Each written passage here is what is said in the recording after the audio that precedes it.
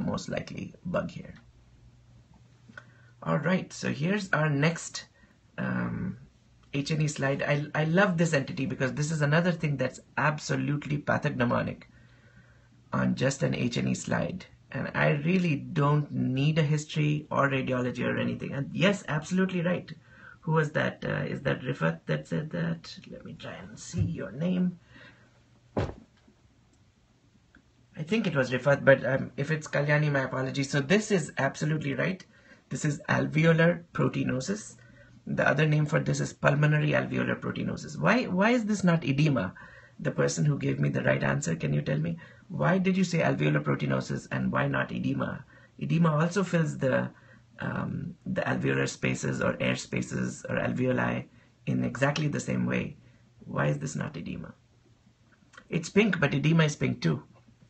You're right that it's pink, but edema is pink. Homogeneous and that that's actually a, a good answer but it's actually edema that looks more homogeneous than this. Um, why is this not pneumocystis?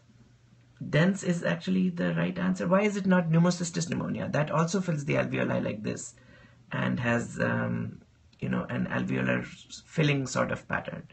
Why is this not pneumocystis pneumonia pcp well there's a couple of clues here so one thing uh, that is characteristic about this is in these pink areas, you have these little, even denser pink blobs. You're right, absolutely right. So pneumocystis, uh, they, um, uh, you said that will be bubbly, and that's exactly right. Pneumocystis pneumonia has a bubbly or frothy appearance that's that's really characteristic even on H&E. But the, the distinctive feature about pulmonary alveolar proteinosis or PAP is these little dense pink globules in a background of a, of a dense pink uh, uh, material. So see these little pink globules, I'll point out a few of them. Here's another one. Here's one. Here's a gigantic one. I'm not sure why it's so big here. Usually they're of about this size. So what is this material made of? Blobs, exactly. What are these blobs made of?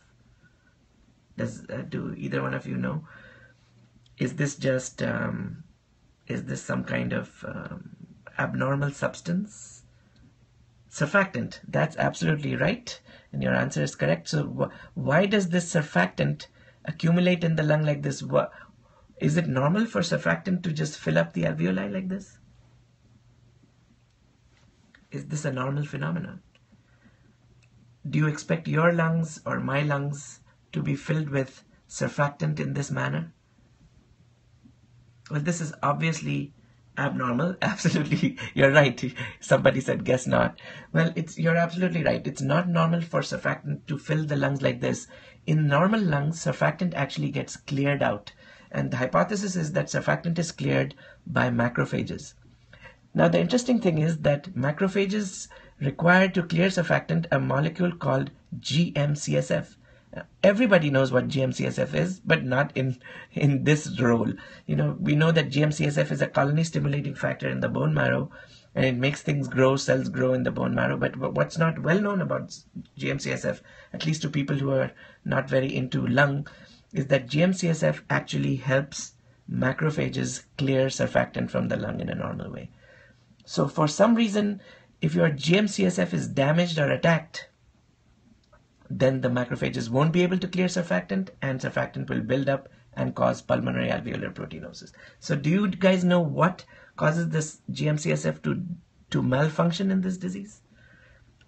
What actually happens to the, to the macrophages and the, and the GM-CSF pathway? There are actually antibodies against that in this disease. So this is an autoimmune disease in the vast majority of adult patients who have PAP. This is an autoimmune disease um, these patients make antibodies to GM-CSF. And because you have antibodies to a thing that's normally required for clearance, it doesn't clear and it fills up the alveoli. So this is really a beautiful example of a, of a, of a disease where the mechanism is really well figured out. Um, and the um, uh, the pathology is, is so characteristic that you can make a diagnosis here just from the H&E. Um, as mentioned before, pneumocystis has a frothy appearance, that doesn't look like this. But if you have any doubts, you can always do a GMS stain. A PAP is negative, and of course, um, uh, PCP or pneumocystis pneumonia will stain positive. Uh, there's a important trivia question that might be important for the boards is they like to know patients with PAP get what kind of infection characteristically. So on top of the PAP, they get another infection. Does do you guys know? Uh, this infection also can spread to the brain and cause brain abscesses. So PAP patients are predisposed to a bunch of infections, but especially this one. It starts with an N. So it's actually nocardia. Nocardia is something that PAP patients have a predisposition to for some reason.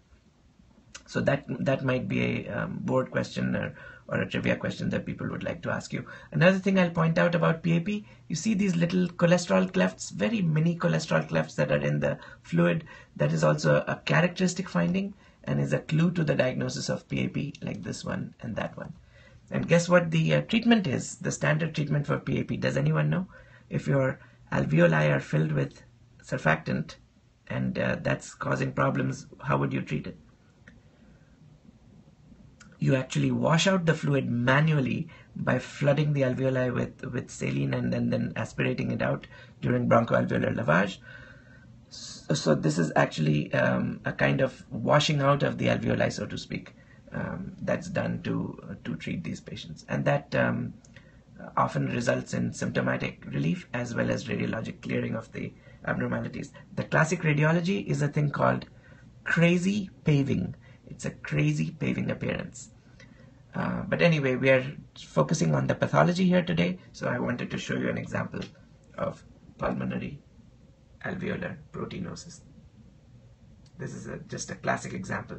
One last point before we move to the next slide is that in pulmonary alveolar proteinosis, the interstitium of the lung is absolutely normal. The alveolar septa are completely normal, yet from a radiologic perspective, they call this interstitial lung disease, which is uh, quite an ironic thing. It looks like interstitial lung disease to them, but in reality, this is airspace lung